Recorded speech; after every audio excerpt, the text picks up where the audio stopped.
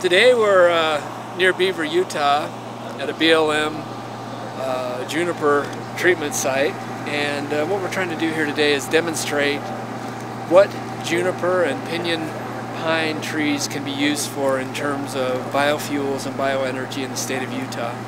Uh, basically, uh, right now this this is a fuel source, but it's not being used as such. It's just being left on the ground, kind of wasted. It costs a lot of money uh, we're trying to reestablish habitat here. And so um, if we can figure out a way to use this as a fuel source, reestablish habitat, it, it's a win-win for everybody. We've, we've got a thermal platform here today. Uh, University of Montana was kind enough to bring their, their demonstration unit down. But what we basically do is we burn or, or we heat the wood up uh, without any oxygen, and what that gives us is basically natural gas. And the natural gas then can be put into an engine or used for generation purposes.